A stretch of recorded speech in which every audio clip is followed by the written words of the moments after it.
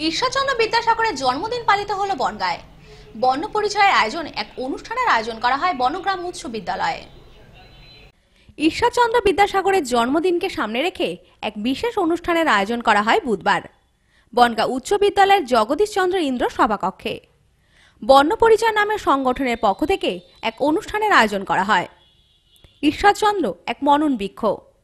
শীর্ষক অনুষ্ঠানে নৃত্য সংগীত, কবিতা পাঠ ও আলোচনার মাধ্যমে পালিত হয় দিনটি। মনন বৃক্ষ।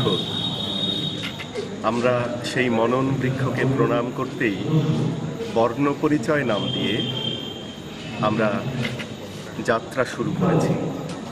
এই যাত্রা সবার আশীর্বাদে, শুভেচ্ছায়, অভিনন্দনে পরিপূর্ণ হোক। আগামীতে সবাই আমাদের পাশে থাকবেন, এই কামনাই করছি।